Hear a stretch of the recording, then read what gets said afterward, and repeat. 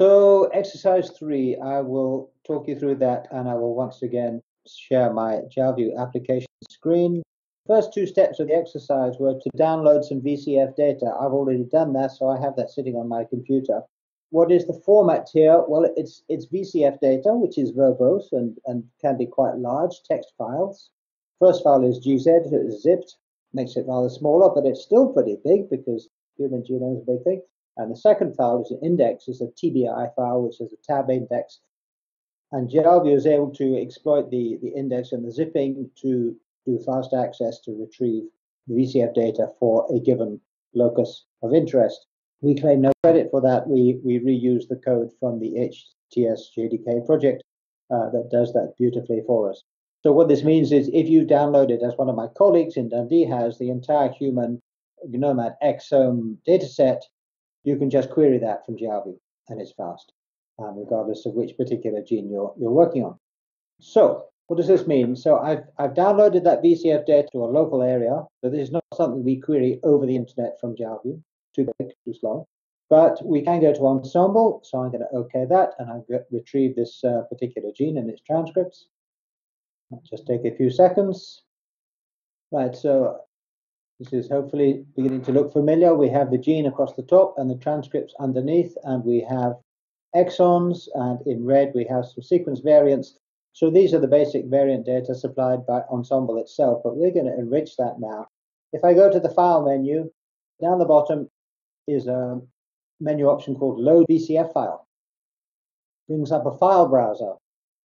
Hurrah, so I can now browse to my Downloads folder, and I'm just going to pick the, the TBI, the tab index file, or indeed I can pick the gzip file. It will work either way around. It, if I pick the gzip, it'll look for the index and vice versa. So I get the index file, I say open that, and we can see, hopefully in your status bar, loading VCF variants. It can take about 10 seconds or so to churn through these. And there we go, added 2,298 VCF variants to 11 sequences. It's found some data. Um, cool. How do we see these? What do we do with them? Well, again, from the View menu, I can go back to my feature settings and bring up what I like to think of as, as the master control panel for visualization in Jalview. We can still see we've got sequence variant, exon CDS available, but there's a new group has appeared, which is the VCF group. So some of these sequence variants have come from Ensembl and some from VCFR, we just learned. So I will turn the other groups off. So I'm now only showing VCF. You can see that features types for CDS and exon are no longer there because they don't come with VCF. The only thing you get with VCF is sequence variant. Next step in the exercise, we're going to hide all columns that do not contain a variant. So if I right click in the feature settings on sequence variant, you get a pop-up menu one of the options is hide columns that do not contain. Wow, hopefully you can see that. These blue lines all mark hidden regions, hidden columns of that alignment. So the only columns left displayed, this is just for conciseness of displaying the effects here, are the ones containing sequence variants. We can now play with a thing on the feature settings called color transparency slider, which I'm going to drag backwards and forwards. What are we doing here? If you remember, we, we've seen that when you have more than one feature at one position, you can choose which is on top. So some, sometimes you can get a feature that's hidden below another one. You have a green on top of a blue. With, with the transparency, we can actually blend these feature colors together. So we can start to see a little bit more information into what's happening here. If we fade it away down, there will be places where it's getting pretty faint and places where it's less faint. If I mouse over these positions with darker coloring, if I put my mouse over them, I can see on my tooltip there's more than one variant. So we're blending the color of two or more variants together to get a stronger color. So that already gives us a little bit of insight into where we have a heavier burden of variation in the transcript sequences. So this is very rich data. I will undo the, the hidden column effect. And I'm going to get up the, the protein view as well. And I will show the variant features on the protein. So I might prefer to look at things from this perspective, but it's and basically I, am able to do the same things I can do in the exercise on the transcript.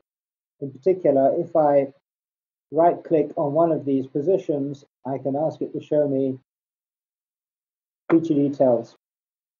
Now when we saw this table, this is one, one single variant detail. When we fetch this data from Ensembl, we got about four or five different fields in here like clinical significance and consequence. When we get it from VCF, we get a shed load of stuff. We filtered out here anything that's null or zero.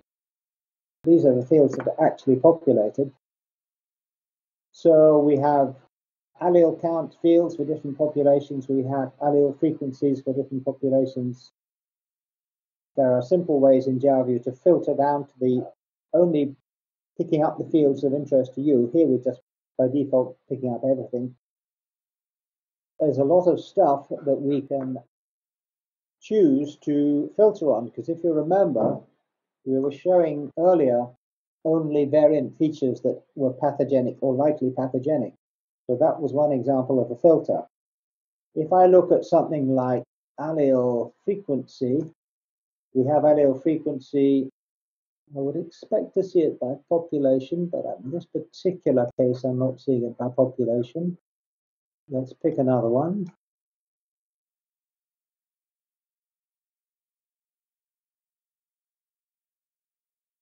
Oh, it's a, that's a stop gained. Ah, interesting. Consequence type stop gained. Let's have a little play with that. Supposing I want to explore stop gained features, I'm going to put a condition on here, which is that the consequence type contains stop and that has limited my display to only those features, if I've done it correctly, which have a, a stop gain, so premature end of the peptide, which is pretty well likely to be deleterious to the peptide.